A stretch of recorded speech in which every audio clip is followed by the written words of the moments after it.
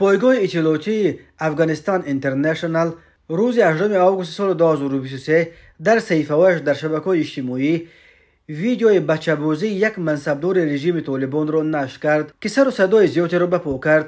Баҳсҳои тундеро дар мавриди то куҷо исломӣ будани ҳукумати толибон дар афғонистон ба бор овардааст афғонистон интернешнл менависад ки است می که در این ویدیو لحظه امخوبه شدن ملا حمد اوخوند رئیس ریاست برخ حکومت طالبان در شهر کوبل با یک جوان پسر ثبت شده است. گفته می شود این جوان محافظ خود امین منصبدار طالبان بوده است. گفته می شود این جوان محافظ خود این منصبدار طالبان بوده است. در ثبت که ظاهرا با ویدیو ها نصب شده ثبت شده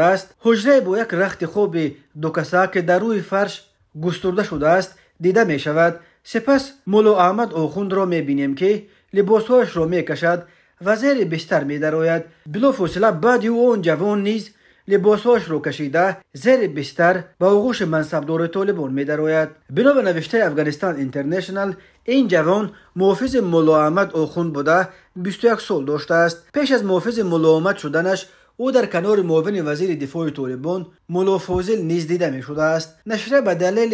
میارهای اخلاقی نام و نسب این جوان را رسانه‌ای نکرده است ولی گفته است که درباره او معلومات کافی در دست دارد. منابع اوگو از این قضیه به این رسانه گفتند که ملا احمد اوخوند از شخصان پرنفوذ گروه طالبان بوده قبلا هم درباره به صورت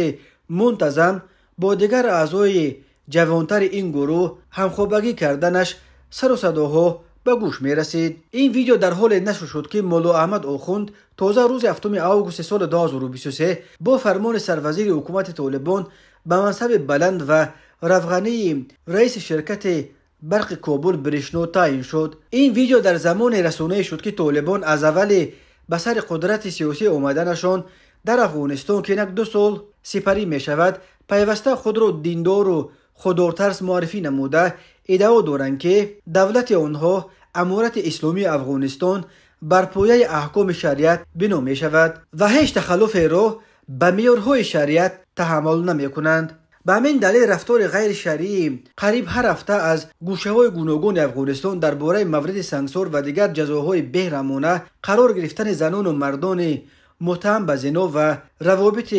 نامشروع خبرها به دست می رسند هرچند بچه بازی در افغانستان در گذشته چه در دوران شو چه در زمان حکومت کمونیستی و چه در دوران جمهوریت رویج بود ولی شرط اسلامی این عمل را شدیدا محکوم می کند از این لحاظ هنوز معلوم است که رژیم طالبان به بچه بازی یک منصبدار این رژیم چگونه برخورد خواهد کرد.